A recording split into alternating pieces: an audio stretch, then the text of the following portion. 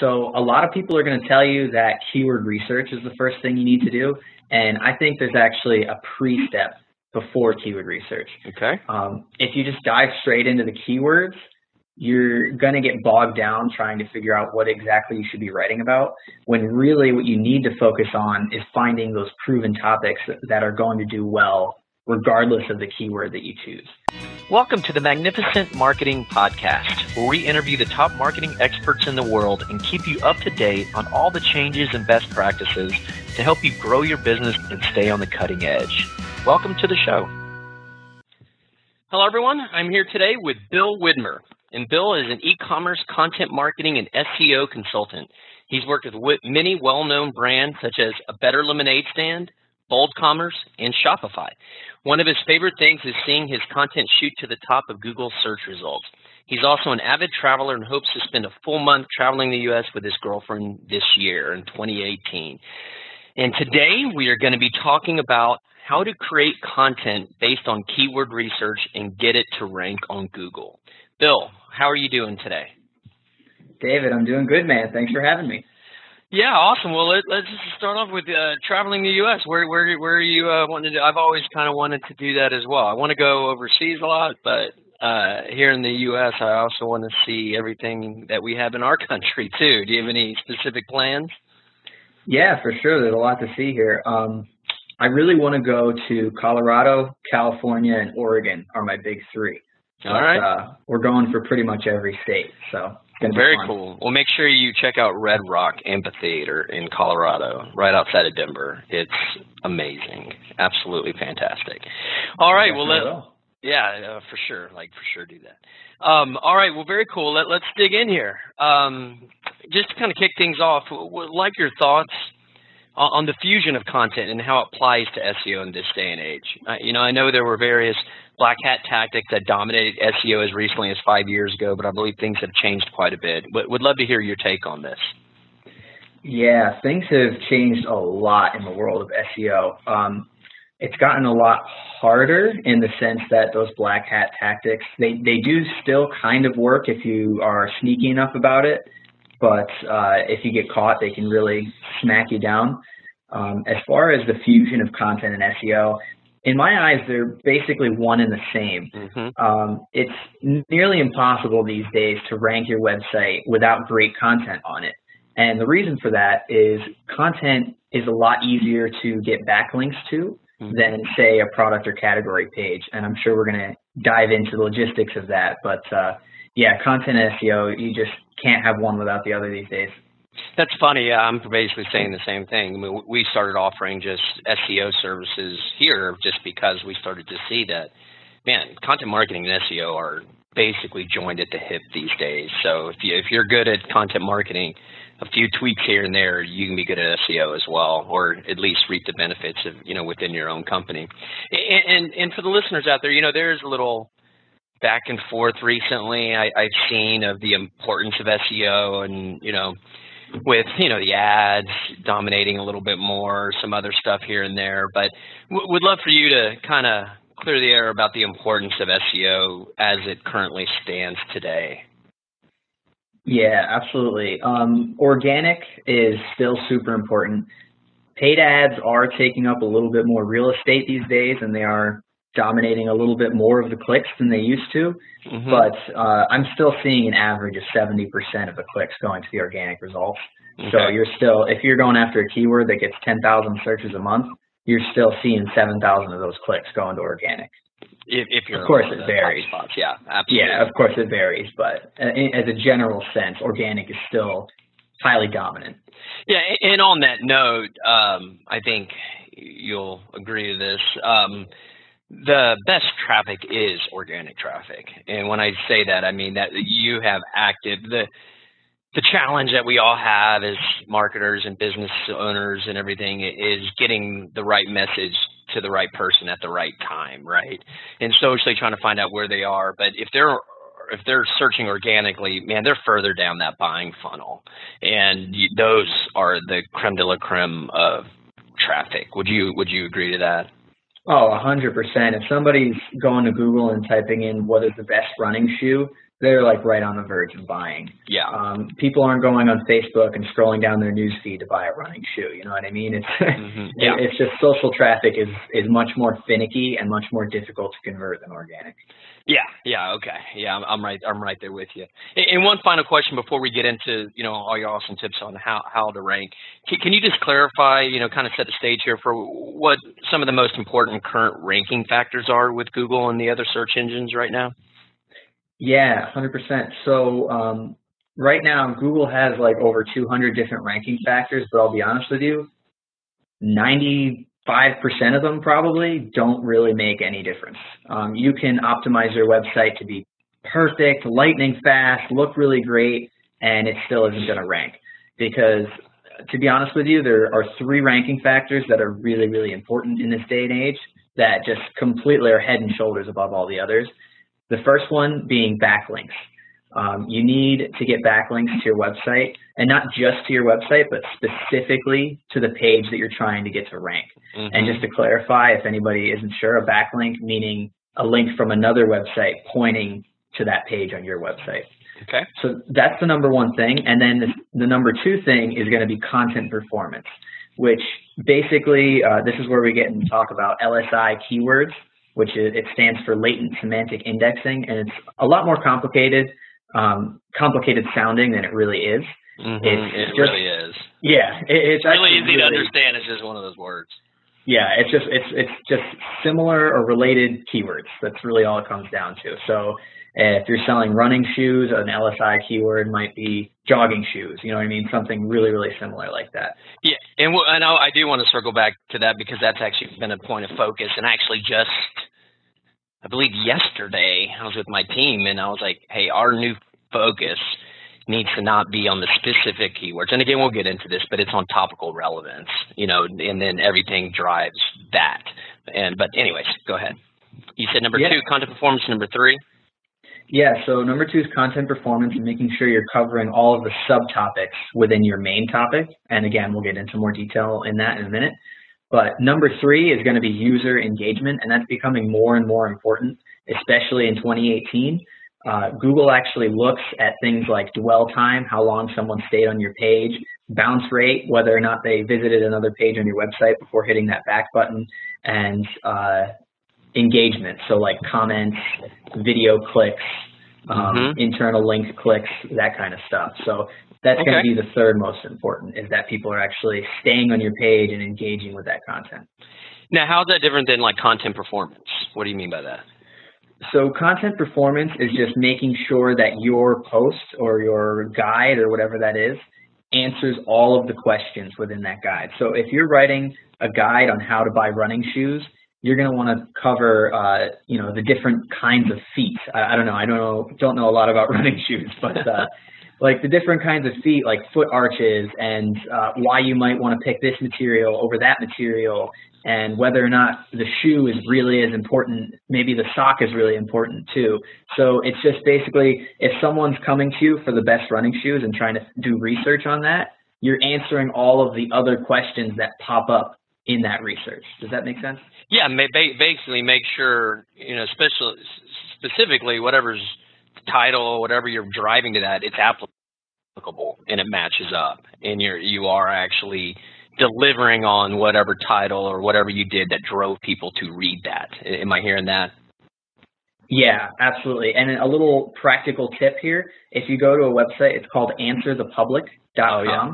Love it. And you type in, yeah, you type in your main keyword, it'll give you all of the questions people ask around that main keyword. So essentially just make sure that you're answering all of those questions.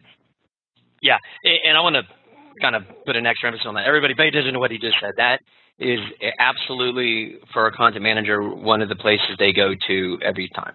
It is it is uh, an absolute amazing place to get further content ideas that are very similarly related but they will give you just different little tributaries, I guess, of different things to write about that are each going to be valuable, and they tie around again this whole topical relevance deal. So, um, love it. Thanks so much. All right. So let's kind of get into some of the good stuff and, and run down your uh, strategy and how to create content that gets ranked, you know, starting at the top here. What is um, what's the very first thing a company or a marketer or a person needs to do? Absolutely. So a lot of people are going to tell you that keyword research is the first thing you need to do, and I think there's actually a pre-step before keyword research. Okay. Um, if you just dive straight into the keywords, you're going to get bogged down trying to figure out what exactly you should be writing about when really what you need to focus on is finding those proven topics that are going to do well regardless of the keyword that you choose. And the way that I find proven topics mm-hmm. is you start with the experts and the influencers within your niche. So sticking with our running shoes example, you want to go and look at all of the different fitness blogs, the different running blogs, um, the different shoe blogs, you know, anything that is going to have an audience, people reading their content, and that they become an authority on the subject. And then look at their website. You can use a tool like BuzzSumo, that's B-U-Z-Z-S-U-M-O dot com, to see which of their pieces of content have gotten the most shares and backlinks. And then look for the common underlying theme. So if you notice that all of these different shoe bloggers are uh, blogging right now about this brand new shoe that just came out or something, and um, they all have a similar topic and it's all doing really, really well, you know that that topic right now it's proven, it's really hot, and it's something that you should be talking about as well. Okay. So awesome. Now I got I got to follow up with that, on that. Sure. And, and, I, and this came from again the I think the conversation we are having yesterday. I, we we use we use BuzzSumo, but we also you know have a higher level tool called Ahrefs, A H R E F S, mm-hmm. that we love. And within that does the same thing. You know, you you find which ones are hot, and uh, that just is logical. Meaning, all right, well, they've already kind of laid the groundwork to to show us something that's great. Now with that though, the ones that have the highest shares and everything are normally the ones that are already getting tons of traffic, you know, the New York Times of the world. So what I what I had our team and what I'm having them experiment with is flip that uh, where they uh, sort everything by low domain authority. You know, sites that uh, aren't out there a ton in or you know if you if you're getting a, a crap a, a shit ton of ta- uh, traffic and everything you're most likely a pretty decent site right? So you can have high domain authority. So that might lead the shares. But i was telling him to flip it and see which ones actually have pretty good shares but a low domain authority meaning maybe this topic is even better if this lower level site is actually getting all these shares. Do you kind of follow my line of thinking there? Yeah i love that. Yeah yeah i was just curious if you ever well, go for it. Yeah, I mean, it was just something that just dawned on me yesterday. I was like, well, yeah, but those just might get automatic shares. You know, BuzzFeed put something out, it's going to get a ton of shares just because they're BuzzFeed, right? Doesn't necessarily mean that's like super of interest. I'm not saying not to do it that way. I'm just saying another way of thinking about it. Let's go to the other way and see, you know, what are the lower guys? Because they're just as creative. They're just not working with a big platform, you know? All right. Anyways, go on. So you said uh, before the keyword research, you're looking for um, information on, you know, topics and stuff that are obviously interesting, interesting to the public in your niche. Okay, go on. Yes, so you look for the fascinating topics first. You look for what's already working first. And uh, I also use Ahrefs. I just mentioned BuzzSumo because they have like a free free yeah. searches that you can use, so anybody could use it. Um, but once you find those proven hot topics, that's when you dive into the keyword research. So if you find out about this new running shoe, then you start researching, okay, what are the keywords related to that topic? So now you've got the proven topic and you use Ahrefs or Google Keyword Planner or something like that to find a main keyword to go after. And you should always pick one keyword for each page. That's not to say you're only going to rank for one keyword, but one main keyword. And then we'll get into those mm-hmm. LSI keywords again that I mentioned before. But um, that's when you actually dive into the keyword research and try and find the perfect keyword for that page. Okay. All right. And, and that the, that's the main starting point, or do you have some other tips that you know as, as we you know start digging into some specifics here? I would say that's the main starting point. I would keep rather than just doing one, finding one proven topic, um, write down all of them. Anything that gets a lot of shares, a lot of backlinks that people are really talking a lot about, write them all down in a spreadsheet, and then do research for each one. So that way you have a list of topics you can choose from. Okay. And then I would use that, and I know we're going to talk about um, topical relevance in this cluster model, but basically use that to plan your content strategy for the next six to 12 months. Gotcha. And if you do have some higher level tools or you're working with a firm, they most likely if they aren't using the higher level tools, they better be. But you know, you can put your website, get your competing websites, you know, the top three or four competing websites, and this is where you run like a, a full keyword analysis. Is that how you go about it as well? Oh yeah, that's definitely part of it. Okay, so again, look for topical. I mean, look for topics that are hot. Run your keyword report, and again, if you really don't know how to do that at all, you probably need to get some assistance there. It's going to be hard for you to, you know, run something without some higher level tools, unless Bill, you want to speak to that. But you're, you know, to really get a full, you know, scope of, you know, the landscape of your world there as it relates. Correct me if I'm wrong. You really probably need to go through one of these higher level tools. At least we we never knew how until you know we got into them. Is, is that correct, or is there another way? Yeah, I'll put it this way. Um, I use Ahrefs for everything. It's mm-hmm. I absolutely a diehard fan. I love them. Yep. You can use Google Keyword Planner for free. It's going to take you a lot more time. It's not going to be as accurate, and it's not going to have as good of results. But you can still do it if you're just getting started and you don't have any capital to invest in one of these. Okay. Tools. All right. Thanks. So just for the listeners, we're not going to get into the step-by-step for the keyword keyword planner, but I assume you could just Google Google keyword planner keyword research and they'll walk you through it. So that that's the free one, but it, as Bill stated, and we experienced the same thing at the beginning, it's uh, very cumbersome. It's not as accurate, um, but it is a starting point if you have absolutely no budget. All right, so you're going to get these keyword reports, right? And then you're looking at, uh, there's different things that tell you, you can go as in depth to see where your, kind, your site currently ranks. But the main, uh, some of the other main things that you're looking at are the competition level, and then you're looking at the volume of these words. So I realize some decisions need to be made at this point when deciding on what to go after once you've completed this initial analysis. You know, you can't just do everything. So would like to hear your take on how you make decisions when evaluating the volume of searches for particular keywords and the keyword phrases combined with how competitive those keywords are. In other words, do you completely stay away from competition levels that are above 50 or 75 or something like that? Or do you still go after those if the volume is high enough? I know that's a specific question, but I want to get in your brain just in general when you're looking at these, what's your what are you deciphering there? Do you kind of understand my question here? Yeah, I do. Okay. So that's going to depend on a couple different factors. The first one being how high is your domain authority and how much um, how many rankings do you currently have already? Because the more links that you have to other pieces of content already, the easier it's going to be to rank for those super difficult keywords because you can do internal linking and you already have an audience to share with. That being said, I do like to avoid anything over like a 50 keyword difficulty according to Ahrefs. Again, that's another reason to get that over Google Keyword Planner. But um, that's just because anything over a 50, it's going to take you probably close to a year to rank for that unless you're you have a crazy high domain authority already. Okay. And then as for the search volume, um, I don't. Wait, wait, wait, wait, wait, Let, let, let, let's define that. You know, when okay. we use words like high and low, right?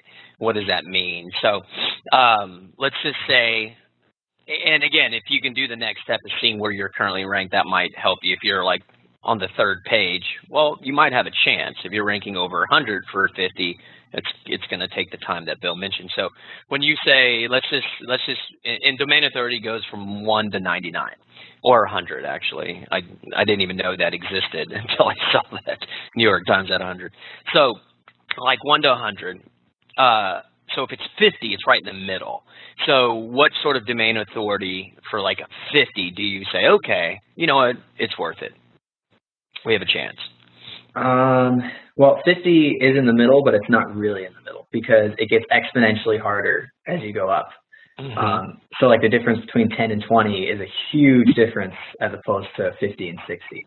Gotcha. But for uh, a 50 difficult keyword, um, I would say at least a 50 domain authority according okay. to Moz and Ahrefs, um, but preferably even higher than that.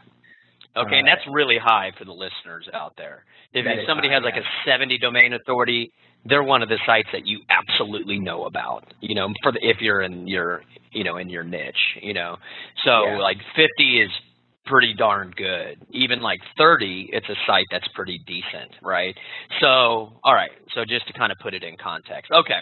So again, the circle. Say, and j- just to just to clarify on that, even if you're only in like the 30 to 40 some domain authority, going after a 50 keyword difficulty might be worth it um, mm-hmm. if the volume's there and if you're willing to put in the effort.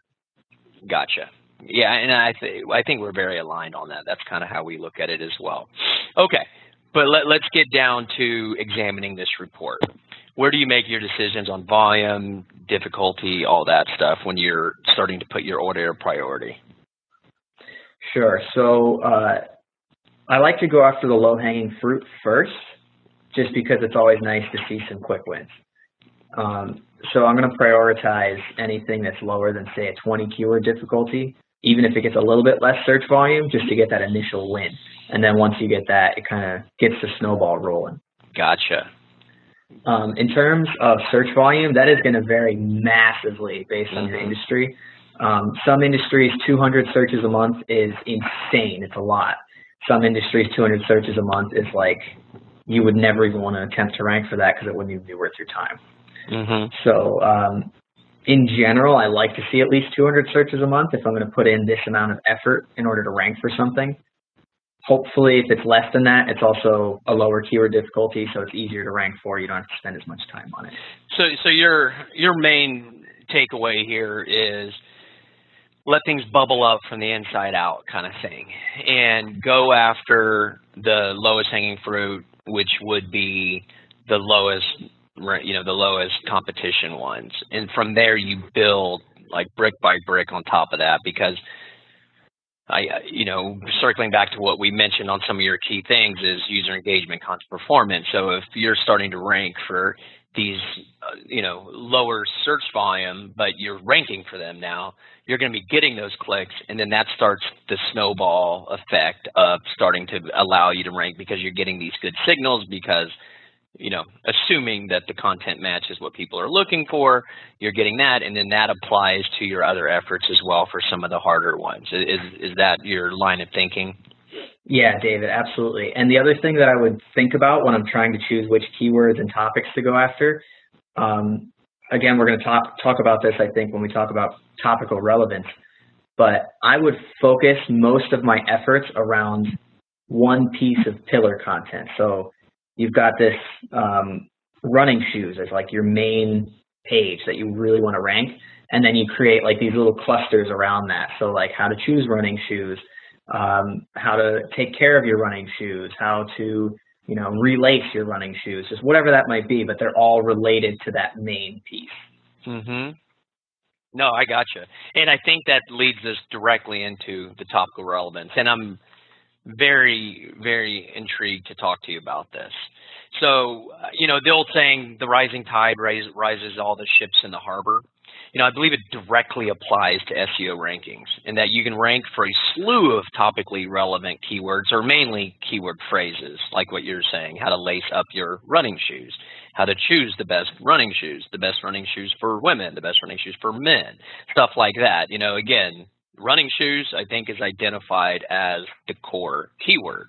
But there's going to be a crap ton of other searches that you might not even be identified in the keyword reports. You know, they might have five, two, eight, 12, 20 searches, but there might be like a 200 of those. So can you speak on this for us and let us know your strategy as it pertains to trying to rank this way as far as getting your pillars. And, and, you know you're saying just running shoes but some people have two three four five services that they you know would want to build around. But again it's for the purposes of this we'll just act like it's one but if you have multiple it'll apply it down the road. So i've been hearing this more and more in the industry over the last couple years is topical relevance and that definitely you know will circle back to the lsi the latent semantic indexing. So Tell me your thoughts on this. What are you hearing? What are you experiencing in regards to this strategy? Absolutely. So, one of the best ways I can think of to explain this um, HubSpot came up with what they call the pillar cluster model. And it speaks directly to how you're saying if you have different services. So say um, you have your running shoes and then you have all of those articles around running shoes and that's over here in this section of your website. And then say you might also sell, I don't know, yoga pants or something. Then you would talk about yoga pants and all of those different articles around yoga and yoga pants in this section. So then you're creating these, these different clusters and the more that you rank for related keywords, the easier it's going to be for you to rank for those other related keywords. So if you're ranking for how to clean running shoes, it's going to be easier for you to rank for how to lace your running shoes because Google sees that there's that topical relevance there. Mhm.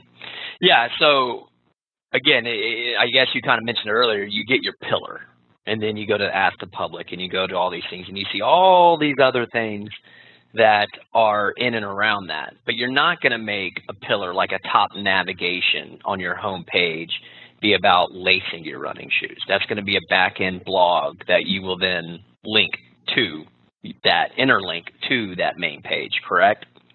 Yeah, so that main pillar page might be like everything you ever needed to know about running shoes, the ultimate guide. And then it would link off to all of your little cluster pages and they would all link back to that pillar page. So they all be, it's like this web of content that's all interrelated. Okay, awesome. Now, I, I want to dig in a little bit more about what you just were mentioning about, you know, you might sell yoga pants as well. So, you know, it, it's, you know, in around this topical relevance deal, but how, how do you make decisions on content production when you rank, when you want to rank for various keywords that are similar to your business objectives, but not quite the same? You know, like you mentioned yoga pants and everything, but for example, say, say you have courses on meditation but then you also mm-hmm. sell products in and around this world, like crystals, yoga mats, stuff like that. What sort of content strategy do you assemble here? Is it the same of what we mentioned, or is it is there any variation on that? If it's not going to be like the same word, for instance, or it's not going to be within it. Yeah, um, it's going to be similar. Basically, so what you're asking is you have multiple different services that are kind of related but not directly related. But again, like say say you're you're about you know you have like this spirituality you know in your personal development, right? But then you also have e-commerce tied to it in the sense that you sell all these products, you know, like something like that. Does that make sense? Yeah. So the way that I would prioritize that is figure out which of my products makes me the most money and or gets the most searches per month on Google and then prioritize my content based around that. Okay. So, so you would basically create a, another content plan for the crystals, the yoga mats, and stuff like that. You, you wouldn't necessarily tie it into the meditation. You would just you would you would think of meditation or your personal development as one content track, and then you would just know that you have this other one. So it's similar, but it, it's really almost starting from the beginning uh, in the sense that you're trying to rank for personal development and meditation or whatnot, but then you're also trying to rank for this other stuff. Is that is that not correct? necessarily? Okay, not necessarily. Uh, so even though it's similar but not directly related, because you because there's still some relation, you can still add internal links from the mm-hmm. content that you create for yoga to the content that you create for you know your meditation class. Mm-hmm. So that link authority is still going to be transferred between those pages, even though it's not direct topical relevance. It is still related enough, and it does still pass that authority through that internal link. So if you're ranking for all this stuff around yoga mats and yoga pants and whatever, um, and then you interlink to your meditation stuff, your meditation stuff is still going to rank higher, even though it's not directly related. Gotcha. Now, now, what what's the uh, what, what what's your thought on you know those core pages, and I know, and correct me if I'm wrong on this, but it's good practice to link out and to link. You know, obviously interlinking is great, and I need to get some clarity on on this. But I know when you add or outer link, um, you're giving away a little bit of your link authority. Uh, you know, if, if you like outlink, if you have a page that outlinks like two, three hundred pages out, that's going to hurt you, correct? If you, uh, much, if you overdo the out outbound link, you give away a little bit, but it's good practice because you got to have the user experience, and you. It's basically like, you know, it's there, there's a certain threshold that if you cross, that you have too many things going out. I think Google identifies that as some weird practice. I, am, am I wrong on that? I'm not sure if Google actually identifies that as a weird practice, but I'll say this. Link out generously, but not to the point where you're just stuffing links into an article. So basically, if you're writing an article and um, you link out to an authority piece on why meditation is good for your mind, body, and soul, or whatever that might be, and it's like some kind of scientific article or um, this really great blog post someone wrote, A, you're showing Google that you're related to those high authority sites, mm-hmm. and B, now that you're linking to them, you can then reach out to them after you finish that piece of content and say, hey, I linked to your article because it was really awesome. Uh, maybe you want to check out mine. And they might end up sharing to it or linking to it themselves. Gotcha. Now, rule of thumb, like approximately one outlink for every like hundred words. Is that a, is that a good benchmark, or is that? Yeah, I would say that's a pretty good benchmark. Um, it's that's something that's so it's it's kind of nebulous. It's hard to give a real accurate rule of thumb on that, but uh, just, just whatever just feels right, I guess. Gotcha. Now, now on that note, though, so we we have these pages, we have our pillar pages. Do you want to interlink to like the the, the yoga mats and the crystals from the pillar page, or do you just want your all your interlinks pointing to that page? Like, do you want it also linking to your crystals and stuff like that? I would link them all back and forth to each other, as long as it makes sense. No, as long as it makes sense, but yeah. it's good to back back and forth. Okay. Like, awesome. don't stuff internal links at all. That's not going to help you at all. But if it's like you have more resources on a certain topic that you're writing about, definitely mm-hmm. link to that. Understood. Gotcha. All right, let's get into uh, frequency of content you know, in your experience, is there a sweet spot for the amount of content you need to produce per week or per month needed to rank? And I know this is an impossible question to answer in the sense that there's so many variables when you're talking about, you know, opportunity, meaning how big, how much, how much of a search volume there is, you know, and the the difficulty and all of that. But do you have any guidance for people out there in regards to that? Sure. In terms of ranking on Google, um, Google doesn't care about like freshness or how often you update your website anymore. Uh, going back to those three top ranking factors that we talked about, freshness isn't one of them. Um, as long as your content is good and you know you update it like maybe once a year or something, then that's what Google cares about. So as for a sweet spot, it's more for how much effort you actually have to put into it.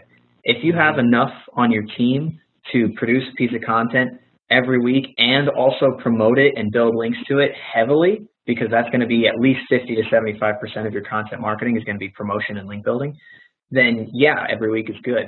Personally, I like to do every one to two months. I promote, I publish one piece of content. You produce a big piece of content, though. Yes. So I mean, you're not just producing a content. I mean, you're one of those that puts out, you know, a fully encompassing thing. So I just want to make sure we clear we clarify that.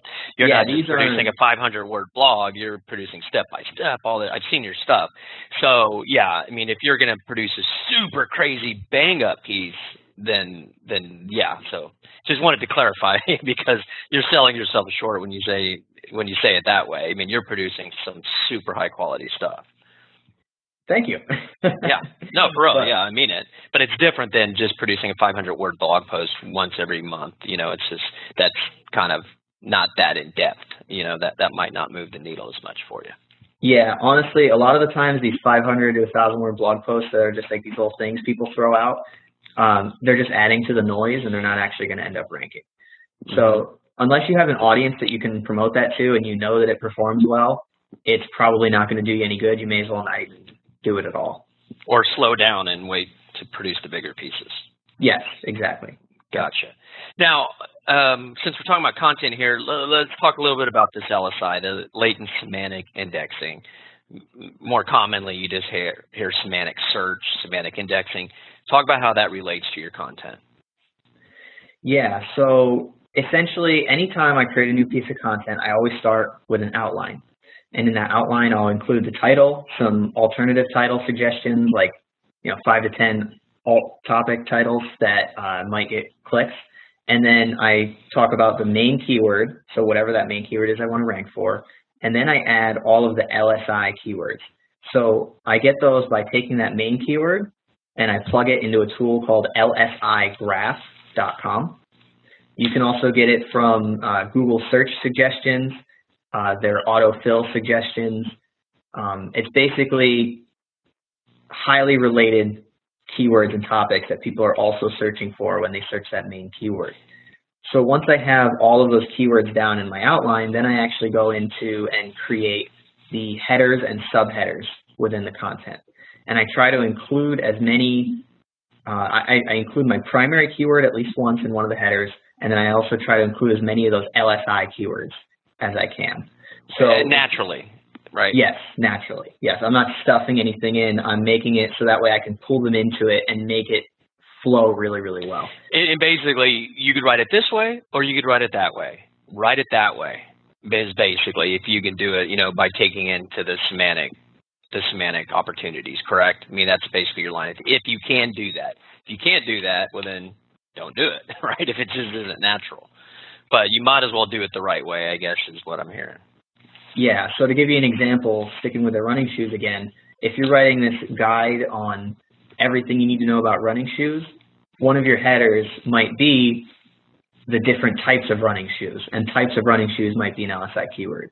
And then you might write um, how to try on running different, shoes. Or different types, right? Yeah, yeah, different types. And then another section might be how to try on running shoes to make sure they're a good fit.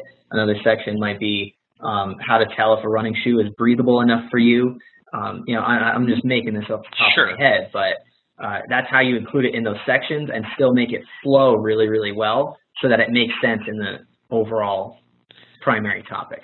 Yeah, and what the what you mentioned lsigraphs.com, is that right? Yes. So what that's going to tell you is, hey, you're you're this is exactly what people are actually searching for with these words.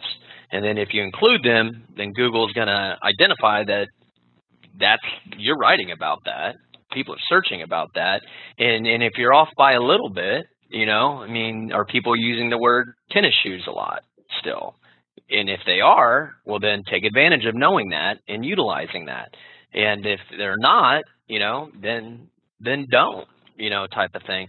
But I, I you know, I'm not familiar with that LSI graph. Thanks for that tip. We're going to steal that one from you. Absolutely. All right. Now, yeah, absolutely, and that's that's why I love these doing these podcasts, not just for our own marketing efforts and and you know our kind of give back to the marketing world, but I learn a lot. Uh, I want to start my own podcast someday. well, you man, I'll tell you right now, it's one of my one of my main sources of education because the people that we have on here are always so educated that I always pick up tips. Yeah, All you right. guys have some great guests. Go ahead. Oh, thank, thank you. We got another one today. All right, so we mentioned the word backlinks a ton today okay? And we're saying get backlinks, get backlinks, it's backlinks. Okay, got it.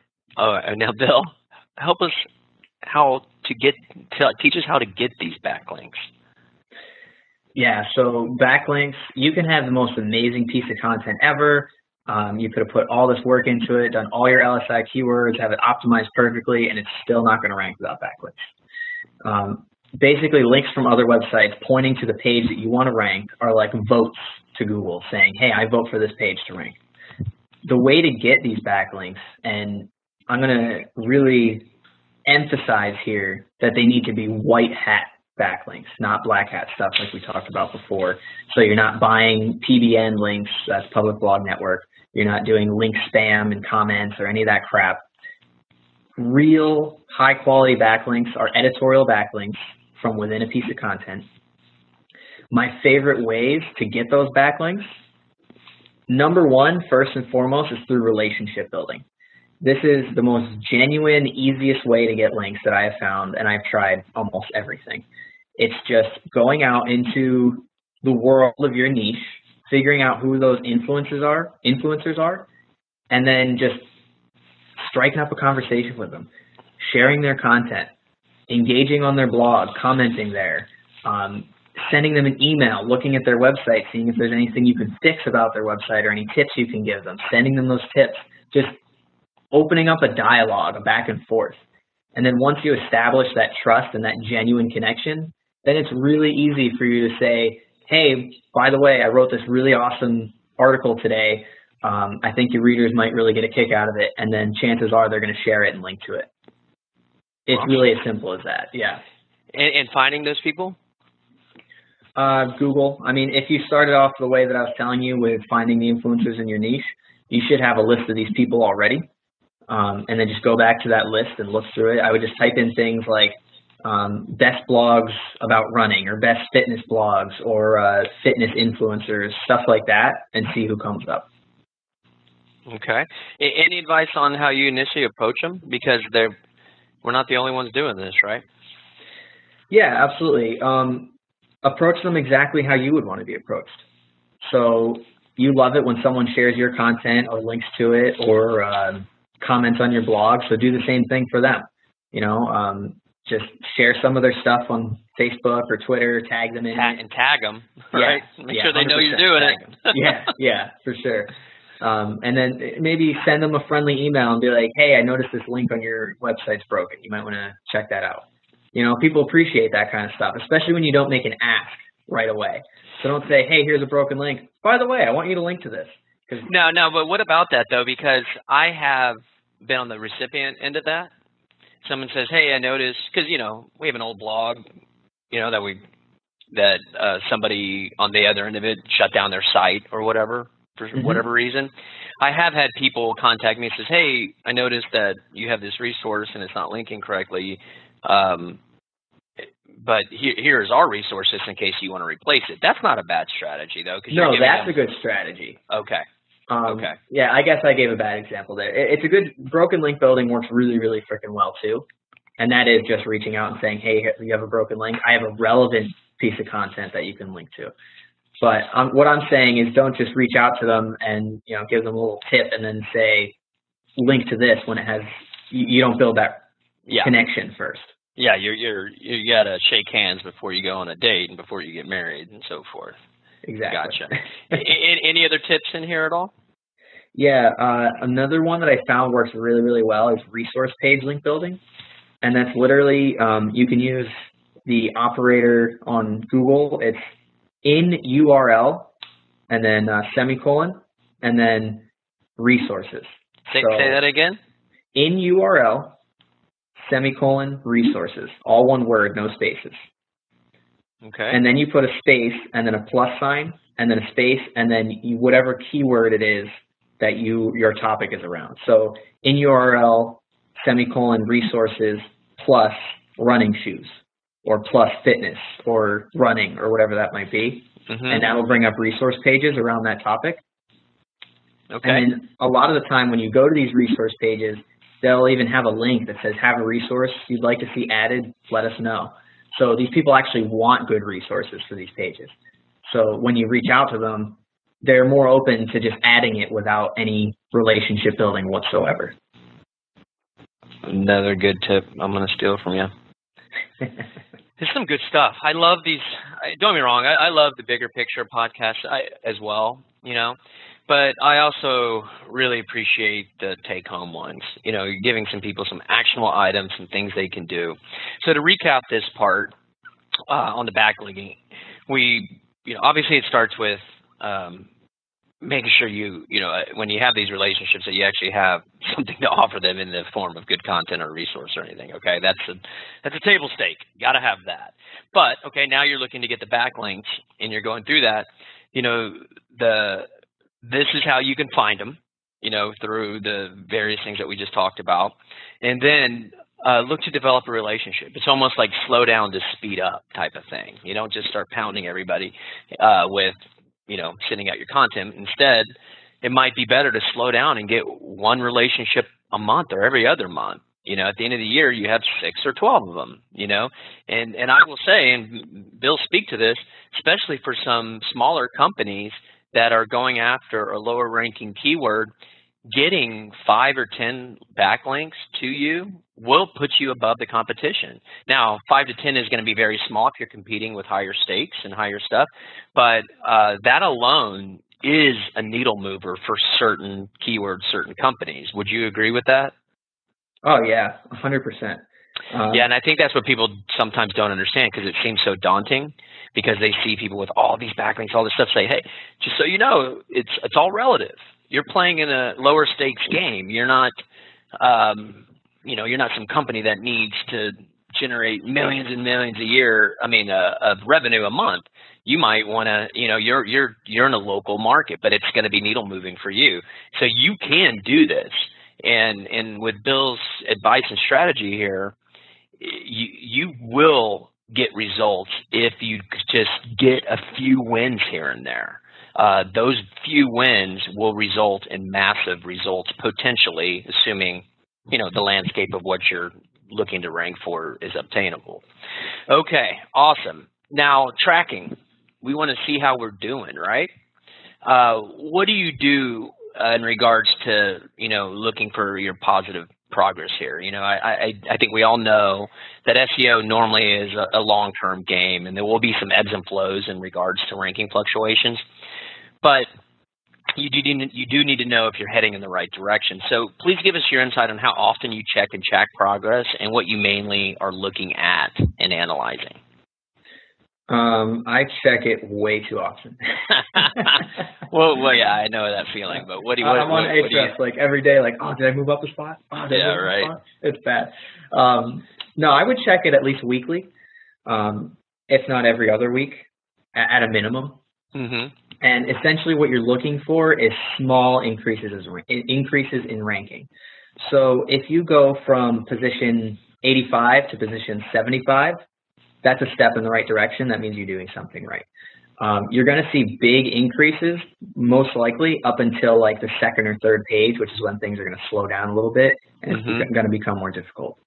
Okay. So, in order to track this stuff, I actually do use Ahrefs. Uh, it's an amazing tool for that purpose.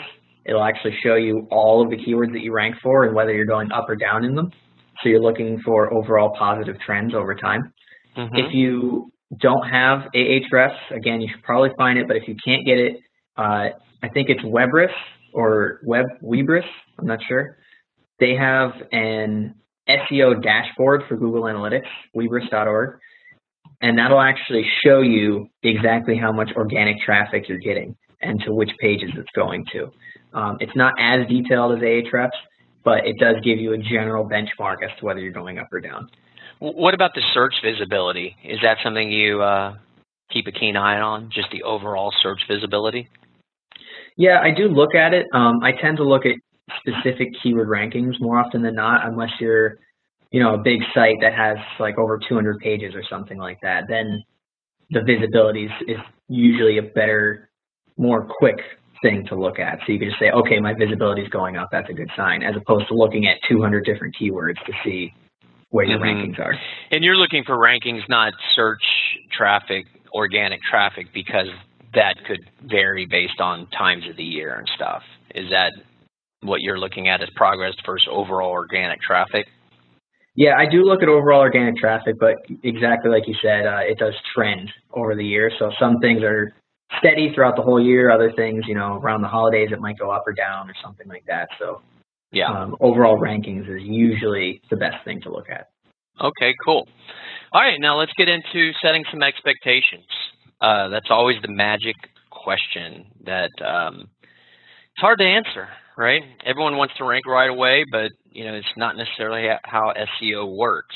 So, can you give your take on what people can reasonably expect? And, and on that note, can you speak to this in terms of competition levels, as I believe you can rank much faster for obviously a keyword or phrase that has competition of 5 versus 95, of course. So if you can put it in context too. Yeah, absolutely. So uh, I would say anything under a 10 keyword difficulty, if you really go hard and you build a lot of links, you could probably rank for that in under three months. Okay. Um, but as you go up, that's going to get progressively harder, and you're looking at you know six to 12 months to really start seeing some significant results. For, for and uh, that's for 50 or less. That's uh, yeah. Anything like anything like maybe 40 to 50 and up is when you're gonna it's gonna start getting into the six to 12 month range. Okay. And, And and anything above that, you're looking at much longer potentially. But again, if you're going to put the effort to rank for something that's really difficult, that most likely it means it has a ton of opportunity, meaning search volume and applicable search volume for your company. So uh, it's just like investing in your 401k, I guess, right? So, but it's hard to tell further than that because there's so many factors. Is that is that a fair statement? Yeah, David, I would agree with that. And another thing I want to make really, really clear too is that you can't just publish this thing and say, oh, in six months it's going to rank now. Uh, it doesn't work like that. You have to put in continued effort in order to get that ranking after six months. You have to continue to build the links to keep that content relevant, maybe even run some PPC ads to it or whatever that might look like. It's not like you just produce this and then six to 12 months you'll magically be ranking for it. Well, yeah. Then you mentioned all the other, you know, ask the public. So you write in and around that. So it's consistent effort. Yeah. No, I hear you. Yeah. I hear you. I was just trying to give some people some realistic expectations because everyone wants it right now, and that's just everyone needs to understand that's just simply not how it works. If you And, want it uh, right now, do paid ads. Yeah. That's about the only instant thing you can find these days. well, pay, paid ads for traffic, but you know, Yeah. again, it's still not magic formula to, to rank you right away, but it, it is part of the equation to help you. So, um, common mistakes. What what are one of the top one or two common mistakes that you see people make that you're saying stop doing that right now? And you might have already mentioned it, but just want to drive it home. Yeah, we did already mention this, but um, just publishing and praying, spray and pray method. Just uh, throwing articles out and then not doing anything with them. You really, really, really have to focus on promoting that content and building links to it. Because you can publish consistently week after week after week for years and not get anything from it because you don't have the promotion to drive that effort. Mm-hmm. Mm-hmm. Gotcha. All right. Now, uh, I want you to pull out your crystal ball. I want you look into it and tell me, do you see any changes coming uh, in 20, you know, here in the new year or uh, next year in the next couple years in regards to SEO and organic rankings? And anything that you're seeing out there? All right, David, I got my crystal ball. I'm rubbing it, looking inside. I see, I see the smoke. It's shifting. It's, it's opening up. It's opening up. Oh, I see. I see it. Conversational language. Um, people are going to be using voice search a lot more this year and mobile. Okay. Uh, Google is moving to the mobile first index possibly this year. So that's going to mean that they're indexing the mobile version of your site first. So if your mobile version of your site sucks, that's going to hurt your rankings. Um, if your content isn't conversational, if it's if it sounds robotic or stiff, it's going to have a harder time ranking because people are going to literally be pulling out their phone and saying, um, "Okay, Google, what's the best running shoe for me to buy today?" or something Okay. like that. And, and it's going to be conversational language as opposed to someone typing something into a keyboard. So if Mhm. your content is conversational, actionable, um, you know, relates to the reader, that's going to help your rankings. And as long as it looks good on mobile, and I could talk a whole hell of a lot about that too, but uh, we're getting towards the end here, so I'll leave that out for now. Okay, awesome. And, and but that, you know, relates back to the semantic portion of it, correct? Yes, that is a large part to do with it for sure. Gotcha, gotcha. So I think today Bill has given you the blueprint for ranking success. Um, also set it some uh, expectations for us. You know, so it's not uh, going to be instant success, but if you follow these these you know follow this methodology and you start correct, you know, you don't just want to start writing. You know, plan it out. Get make sure you're writing stuff that is absolutely pertinent to your target audience, and then do the sweat equity required with the relationship building, the backlink building, and, and getting this distributed to your your uh, audience. You know, you will have SEO success. Well, Bill, this has been very fun, absolutely educational. Really appreciate your time. How can people continue to learn from you? Awesome, David. It has been a great time. Thank you so much for having me. Uh, if you do want a true blueprint to ranking success, I just published a white hat SEO case study of how I got a number two ranking and over a thousand daily visitors in less than six months. And you can find that on my blog. It's billwidmer.com slash white hat SEO with all dashes in between every word. Gotcha. Um, the other thing, if you don't have the time or energy or know how to invest in this kind of thing, you can definitely hire out someone to help you do it. Uh, specifically for me, I work with B2B businesses around e-commerce and marketing. So if you're in that niche, definitely hit me up. Even if you're not, and if you have any questions on this podcast or any of the content that I have, feel free to shoot me an email. You can send it to bill at billwidmer.com, and I'll be sure to get back to you. Awesome. And for the listeners, uh, Bill's last name is spelled W I D M E R. All right, Bill. Appreciate it. And uh, until next time. Yeah, David, definitely. Thanks for having me. All right. Bye bye. Thank you for listening to the latest podcast. Feel free to go to magnificent.com forward slash blog to see the show notes for this interview, as well as those from many other of the world's top marketing experts. Have a great day.